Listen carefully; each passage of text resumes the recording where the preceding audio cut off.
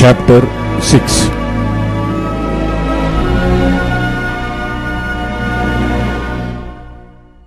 Then the Lord said unto Moses, Now shalt thou see what I will do to Pharaoh. For with a strong hand shall he let them go, and with a strong hand shall he drive them out of his land. And God spake unto Moses, and said unto him, I am the Lord. And I appeared unto Abraham, and to Isaac, and to Jacob, and by the name of God Almighty, but by name Jehovah was I not known to them. And I have also established my covenant with them, to give them the land of Canaan, the land of their pilgrimage, wherein they were strangers. And I have also heard the groaning of the children of Israel, whom the Egyptians keep them in bondage, and I have remembered my covenant. Wherefore, say unto the children of Israel, I am the Lord, and I will bring you out from under the burdens of Egyptians, and I will write you out of their bondage, and I will redeem you with a stretched out arm and with great judgments. And I will take you to me for a people, and I will be to you a God. And you shall know that I am the Lord your God, which bringeth you out from under the burdens of the Egyptians. And I will bring you in unto the land concerning the which I did swear to give it to Abraham, to Isaac, and to Jacob, and I will give it to you for an heritage. I am the Lord. And Moses spake so unto the children of Israel, but they hearkened not unto Moses for anguish of spirit and for cruel bondage.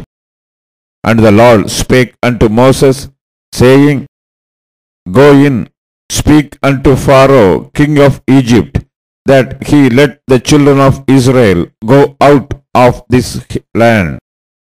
And Moses spake before the Lord, saying, Behold, the children of Israel have not hearkened unto me. How then shall Pharaoh hear me, who am of uncircumcised lips? And the Lord spake unto Moses and unto Aaron, and gave them a charge unto the children of Israel, and unto Pharaoh, king of Egypt, to bring the children of Israel out of the land of Egypt. These be the heads of their fathers' houses, the sons of Reuben, the firstborn of Israel, Hanoch and Phallu, Hezron and Carmi. These be the families of Reuben. And the sons of Simeon, Samuel, Yamin, Ohath, and Yakin, and Shokar, and Shahul, the son of a Canaanite woman. These are the families of Simeon. And these are the names of the sons of Levi according to their generations Gershon and Kohath and Merari. And the years of the life of Levi were an hundred thirty and seven years. The sons of Gershon, Libni, and Shimi according to their families. And the sons of Kohath, Amram, Izhar, Hebron, and Uzziel. The years of the life of Kohath were an hundred thirty and three years. The sons of Merari, Mahali, Mushi, these are the families of Levi according to their generations. And Amram took him Jochebed, his father's sister, to wife, and she bare him Aaron and Moses. And the years of the life of Amram were an hundred and thirty and seven years.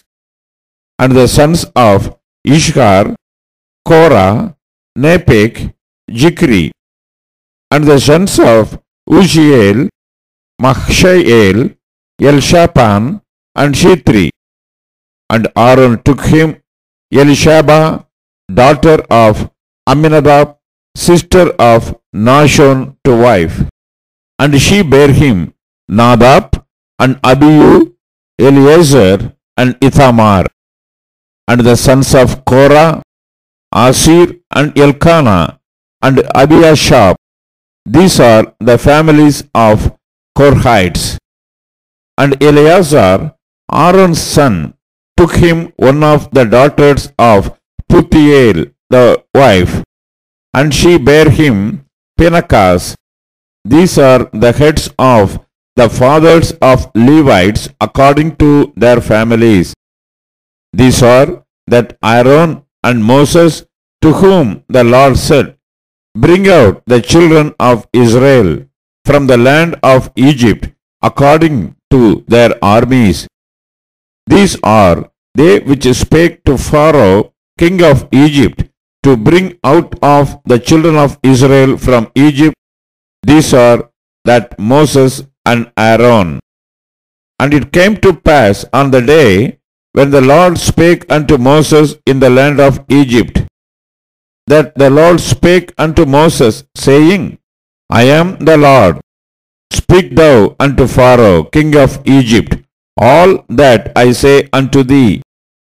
And Moses said before the Lord, Behold, I am of uncircumcised lips, and how shall Pharaoh hearken unto me?